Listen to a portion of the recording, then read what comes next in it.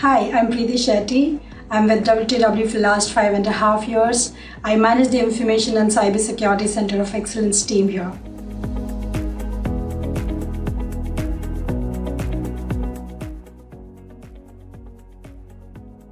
Technology as a work stream demands you to stay up to date with what's happening in the industry, you know, what's the market trend.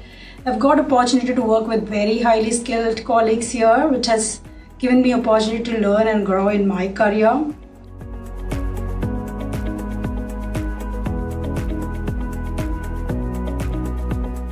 My leaders have been very supportive. WTW as an organization has offered me equal opportunity to grow as a women leader.